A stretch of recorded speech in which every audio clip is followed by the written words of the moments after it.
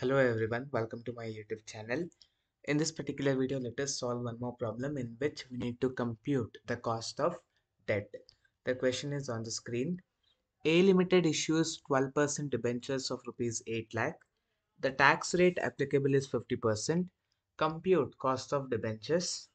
There are three cases. Case A is if debentures are issued at par Case B is if debentures are issued at premium.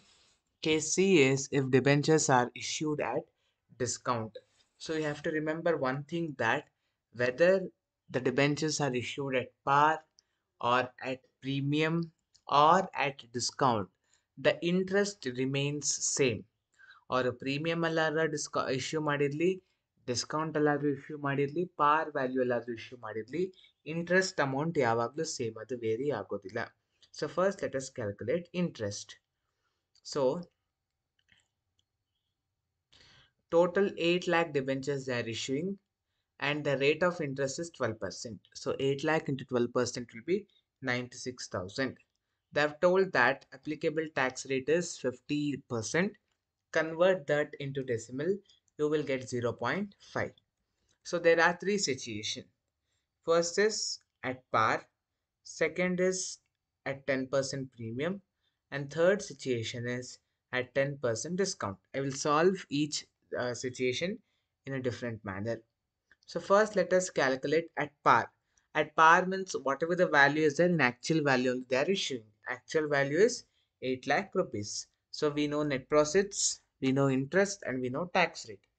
Now let us try to applicate the formula. We already by this time by this time we know the formula that is interest divided by net proceeds into 1 minus t into 100.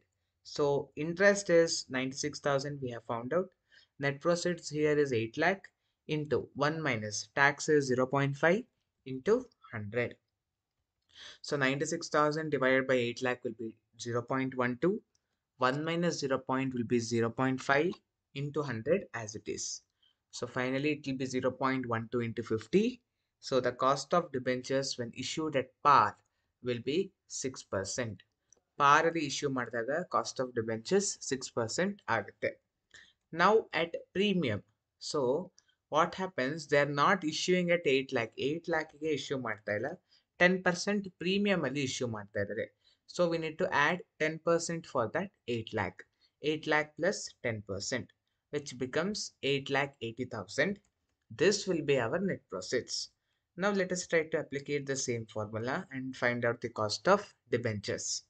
So interest is 96,000, net proceeds is 8 lakh 80,000 and rest all remains the same 1 minus 0.5 into 100. If you try to applicate that is 96,000 divided by 8 lakh 80,000 will be 0.11 and 1 minus 0.5 is 0.5 100 as it is so 0.11 into 0 5 into 50 you will get the cost of debentures that is 5.5 percentage. So when the debentures are debentures are issued at 10% premium the cost of debentures reduces and it becomes 5.5 percent. Now the same case let us solve when it is issued at discount. So they're not issuing at 8 lakh, they're issuing 10, by giving 10% discount. So let us minus that discount. So 8 lakh minus 10% will be 7 lakh 20,000. Now try to applicate the formula.